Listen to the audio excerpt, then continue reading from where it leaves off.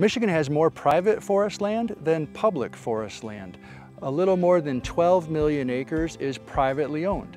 About 3 million acres are owned by corporations. Those are largely in the Upper Peninsula, but more than 9 million acres of forest land are owned by families and individuals. So family forest landowners make up the biggest block of, of forest owners in Michigan.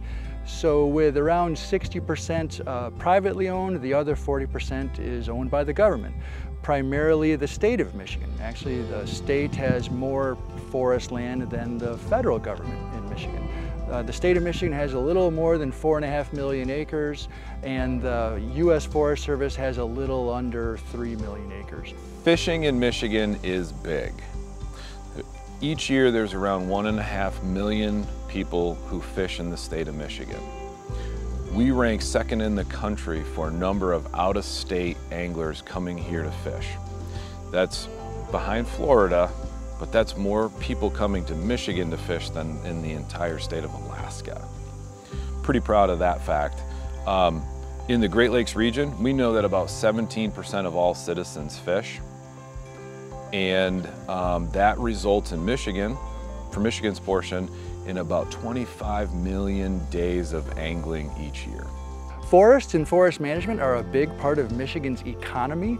Uh, Michigan's forest products industry generates around $21 billion a year and there's around 100,000 jobs that are related to forests and forest management everywhere from foresters and loggers working out in the woods to truckers that are taking uh, wood products to sawmills and paper mills, and then a lot of the secondary mills that take those boards and, and paper products and make them into other more valuable products.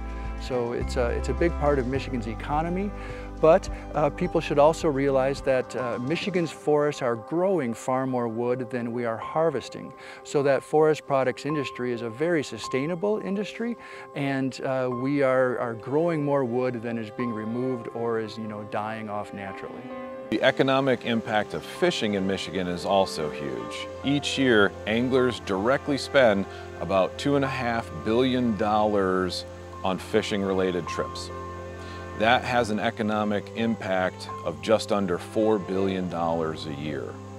Other ways that we feel this in the, Michigan's, uh, the state of Michigan's economy is in that it creates 28,000 jobs in the state of Michigan. It helps create $227 million in state and local tax revenue. And it also creates $250 million in federal tax revenue just from fishing in Michigan. So forests are one of the best land uses for providing clean water and really good fish habitat. Forests are really good at uh, providing clean water because they have permanent vegetation. There are trees and shrubs and um, herbaceous plants in, in the understory that are always there. And so that permanent vegetation will intercept the rainwater and slow the velocity of the water falling out of the sky, but then also moving overland into the surface water like lakes or, or rivers. Forests have undisturbed soils. Unlike agriculture, which is frequently tilled up every year, the soils in forests are undisturbed and are protected by a, a layer of needles and leaves that are on the surface of the soil to minimize soil erosion. Forests have very little infrastructure. Most of the infrastructure in a forest. Is going to be the occasional trail or road going through the forest, and so there's very little uh, impermeable surfaces like roads or parking lots in urban areas that uh, move polluted water into, uh, into the surface waters. And then forests are, are really good at filtering uh, pollution that may be um, moving through the, the rain or the, or the, surface water. Those soils and those leaves and those plants are good at filtering out pollutants. And uh, forests have very little uh, pollutants to begin with. There's um, chemical spills are very infrequent and they're very small. Occasionally a piece of equipment might uh, break a hose and leak a few gallons of hydraulic oil onto the ground, which is always contained and cleaned up. But those small spills are very minor compared to some of the larger spills coming from industry or from cities where we often have combined sewer overflows coming into our rivers and lakes. In the United States, fishing is also a big economic driver. Annually, about 49 million citizens of the U.S. go fishing.